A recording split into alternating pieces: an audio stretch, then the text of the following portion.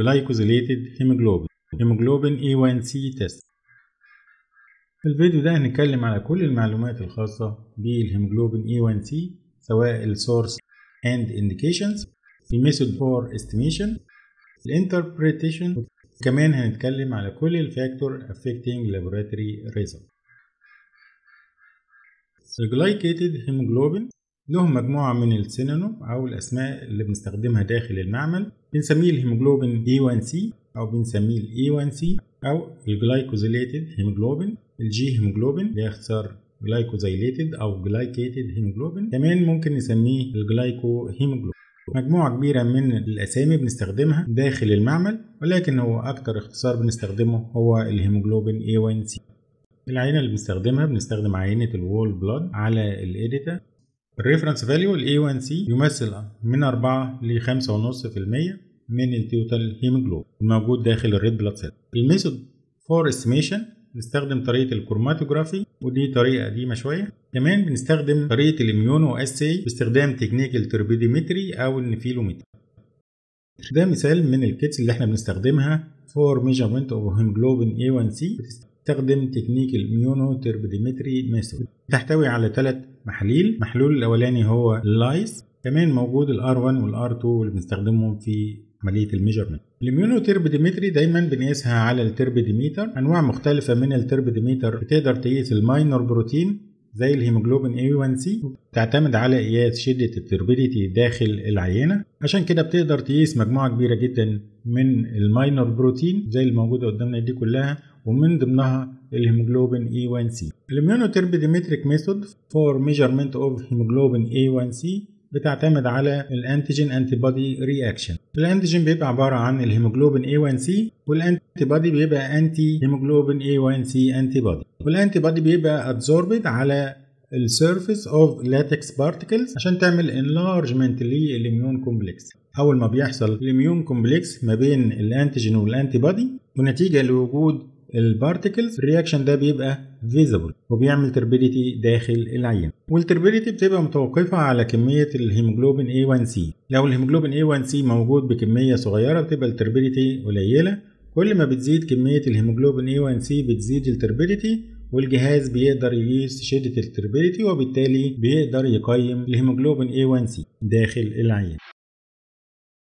الخطوات اللي إحنا بنستخدمها for measurement of hemoglobin A1C زي ما قلنا إحنا بنستخدم ال turbidimetric immunoassay method ولازم قبل ما بنقيس العينة على جهاز ال turbidimeter لازم بنعمل hemolysate لعينة ال blood أو بنكسر ال red blood cells الموجودة في العينة عشان نخرج منها الهيموجلوبين A1C عشان كده بنحط 2 مللي من ال hemolysis reagent في test tube بعد كده بنحط 20 مايكرو لتر من ال well mixed whole blood اللي إحنا جمعناه على ال EDTA بعد كده بنسيب العينة لمدة 5 minute لحد ما يحصل complete hemolysis وبعد كده العينة بتبقى جاهزة لعملية ال analysis ال wave length اللي بنستخدمها بنستخدم 650 نانومتر وبنعمل zero adjustment باستخدام ال distilled water ال manual method اللي بنستخدمها بنحط ال reagent رقم واحد 750 مايكرو لتر في أنبوبة ال standard وأنبوبة ال sample. بعد كده بنحط 5 مايكرو لتر من ال standard أو من ال hemolysate بتاع العينة. بعد كده بنعمل incubation لمدة دقيقتين. وبعد كده بنحط ال reagent رقم 2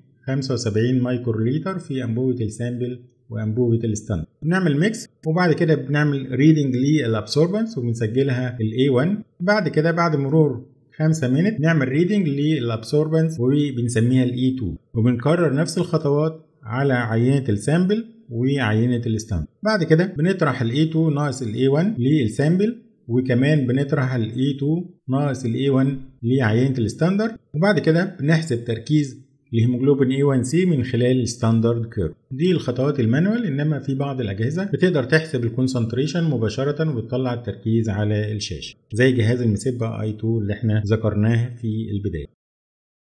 ال expected value الهيموجلوبين A1C مهم جدا لل diabetic patient أو مرضى السكري. لو ال result طلعت أقل من 5% تبقى الحالة non diabetic لو في range من 2.5 ل 6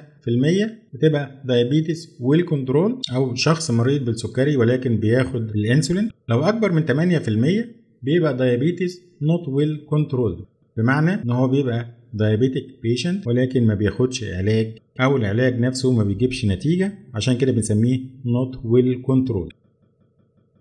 ال time of assessment إحنا بنقدر نقيس الهيموجلوبين A1C أكتر من مرة في السنة على حسب نوع السكري. بنقيسه 2 time per year for patient with type 2 diabetes mellitus. بقيسه مرتين في السنة في النوع التاني من السكر. وبنقيسه 4 times per year for patient with type 1 diabetes mellitus أو ال type 2 diabetes mellitus اللي بتعالج بيه الإنسولين. الهيموجلوبين A1C بيتكون نتيجة لل combination of glucose with hemoglobin. ال red blood cells بتحتوي على نسبة كبيرة جدا من الهيموجلوبين لأن وظيفته طبعا في عملية ال respiration بينقل الأكسجين من ال lung لل tissue. الهيموجلوبين الموجود داخل ال red blood cells بيبقى موجود بأكتر من نوع. النوع الأولاني بنسميه الهيموجلوبين A1 وده بيمثل 95% من ال total hemoglobin النوع الثاني بنسميه الهيموجلوبين A2 وده بيمثل أقل من 3.5% من ال total hemoglobin الهيموجلوبين F وده بيمثل أقل من 1 إلى 2% من ال total hemoglobin عشان كده النوع الأساسي من الهيموجلوبين الموجود داخل ال red blood cells في ال adult هو الهيموجلوبين A1 عشان كده هو ده النوع الأساسي اللي بيتحد معاه الجلوكوز وبيكون لنا الهيموجلوبين A1C الجلوكوز الموجود في البلازما بيقدر يخش داخل ال red blood cells بحرية تامة ما بيعتمدش على وجود الانسولين. عشان كده في ال diabetic patient بيقدر الجلوكوز يخش ال red blood cells بالرغم من غياب الانسولين. لأن ال red blood cells ومعظم ال blood cells اللي هي ال white blood cells وكمان ال nervous cells بتبقى non insulin dependent ما بتعتمدش على الانسولين في دخول الجلوكوز intracellular عشان كده الجلوكوز بيقدر يخش داخل ال red blood cells ويستخدم في ال energy وإنتاج ال ATP داخل ال erythrocyte وأي كمية متبقية داخل السيتوبلازم بيحصل لها adduction أو combination مع الهيموجلوبين A1 وبتكون ال glycated أو ال glycosylated hemoglobin وإحنا بنسمي ال attachment of glucose مع الهيموجلوبين glycosylation بنسمي العملية glycosylation وبنسمي الهيموجلوبين نفسه glycosylated hemoglobin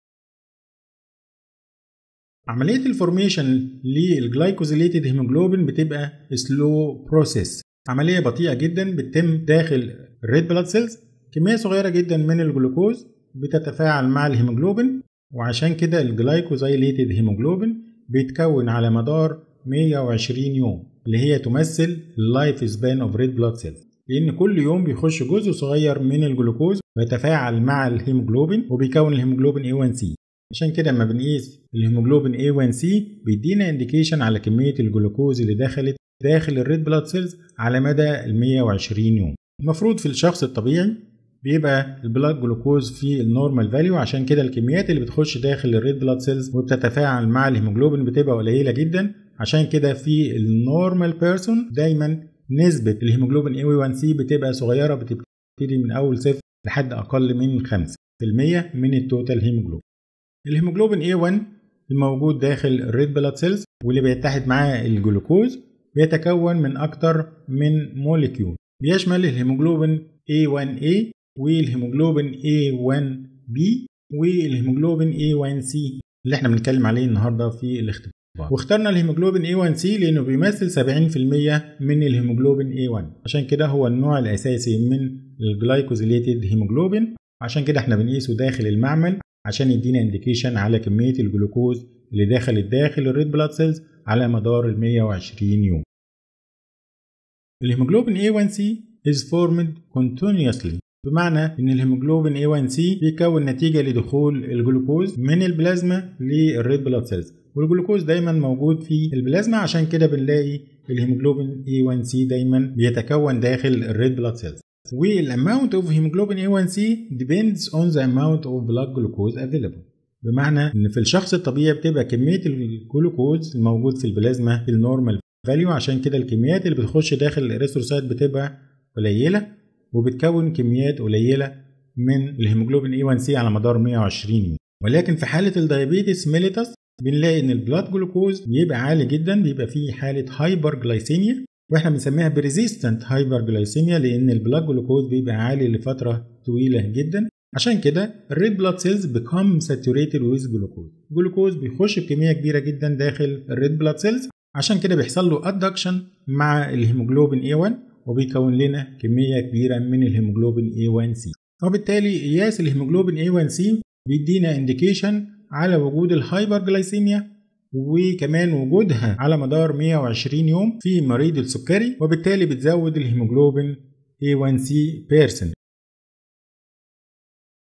ال indication إحنا بنستخدم ال hemoglobin A1C test for assess long term glucose control in diabetes. بمعنى إن إحنا بنستخدم ال hemoglobin A1C test عشان نقيم long term control. بمعنى إن إحنا بنشوف ال blood glucose level على مدى من 3 لأربع شهور وهل ال hyperglycemia أو زيادة الجلوكوز كانت مستمرة طوال الفترة دي؟ وبالتالي بيدينا indication على عملية ال control أو ال treatment هل في treatment أو control لل blood glucose في مريض السكر ولا مش موجود؟ وده بيهمنا في إيه؟ بيهمنا عشان نعمل monitoring لل effectiveness of diabetic therapy أنت بتقيم العلاج اللي بتديه لمريض السكر وليه إحنا بنحتاج نقيم long term glucose control ليه إحنا بنحتاج نعرف ال glucose level كان عالي على مدى الثلاث شهور؟ لأن ده بيدينا monitor على ال effectiveness of diabetic therapy بمعنى إن هو بيدينا indication هل العلاج اللي بنديه للمريض effective ولا مش effective بمعنى إن هو هل بيقلل blood glucose ويرجعه تاني لل normal ولا لا. لو العلاج effective معناها إن الهيموجلوبين A1C المفروض يرجع طبيعي. ولكن لو العلاج مش effective الهيموجلوبين A1C هيبقى عالي. كمان بنستخدمه to manage diabetic therapy بمعنى إن إحنا بنقدر نقيم الجرعة اللي بنديها في عملية ال treatment بنقدر نزود ال dose of treatment على حسب كمية الهيموجلوبين A1C ال interpretation بيحصل increase في الهيموجلوبين A1C في ال diabetes mellitus في مرض السكري أو مريض السكري وخاصة في حالة ال poorly control أو ال uncontrolled diabetic patient ال poorly controlled معناه إن هو بياخد علاج ولكن الكمية بتاعته مش كافية. ال uncontrolled اللي هو ما بياخدش علاج خالص. أو ما فيش أي نوع من ال control على ال blood glucose السبب الثاني لزيادة الهيموجلوبين A1C وهي ال hyperglycemia وخاصة ال persistent hyperglycemia اللي بتبقى موجودة في حالة ال pregnancy وكمان موجودة في حالة ال prolonged cortisone intake استخدام الكورتيزون لفترة طويلة جدا بيتسبب في حدوث ال hyperglycemia وبالتالي بيزود الهيموجلوبين A1C زيادة الهيموجلوبين A1C أكتر من 8% بتدينا indication إن ال patient at high risk of developing long term complication. بمعنى لو قسنا الهيموجلوبين A1C في مريض السكري وطلع أزيد من 8% معنى كده إن المريض ده عرضة للمضاعفات اللي بتظهر مع مرض السكر زي النفروباثي الريتينوباثي النيوروباثي والكارديوباثي. دي كلها long term complication بتحصل نتيجة لل uncontrolled blood glucose level وال high blood glucose level بيعمل damage في معظم الأنسجة. عشان كده بيعمل damage في ال kidney ويؤدي لظهور ال nephropathy بيعمل damage في ال eye ويعمل ال retinopathy كمان في ال nervous cells وبيعمل neuropathy وكمان مشاكل في ال heart وبيدينا ال cardiopathy. عشان كده قياس الهيموجلوبين A1C من الاختبارات المهمة جدا لازم نحافظ على ال level of hemoglobin A1C أقل من 6 عشان نتجنب حدوث ال complication ال decrease in hemoglobin A1C بيحصل في حالة ال chronic blood loss ال hemolytic anemia كمان بيقل في حالة ال sickle cell anemia وفي حالات الساليزيميا نتيجة ل decrease في ال red blood cells life span الثلاث أسباب الموجودين دول بيؤدي ل decrease number of red blood cells نتيجة لحدوث الأنيميا. وفي الحالة دي لو ال patient بيبقى diabetic وعنده أنيميا نتيجة الهيموجلوبين A1C ما بتديناش indication على كمية الجلوكوز الموجودة في ال blood كمان بيقل في حالة ال chronic renal failure لأن ده بيؤدي لل decrease في ال erythropoietin hormone وبالتالي برضه بيؤدي لحدوث الأنيميا وعشان كده الهيموجلوبين A1C بيقل بشكل كبير. ال factor affecting laboratory result في بعض ال factor بتأثر على الهيموجلوبين A1C result منها زي ما قلنا الأنيميا. may cause a low value result. الأنيميا بتقلل عدد الخلايا وبالتالي بيقل الهيموجلوبين A1C عشان كده ما بيقدرش يدينا indication على كمية الجلوكوز الموجودة في ال blood عشان كده في الحالة دي لو ال patient بيبقى diabetic لازم بنعمل CBC عشان نتأكد إن عدد ال RBCs مظبوط ونستبعد وجود الأنيميا وبالتالي كمية الهيموجلوبين A1C اللي بتظهر بتدينا indication على كمية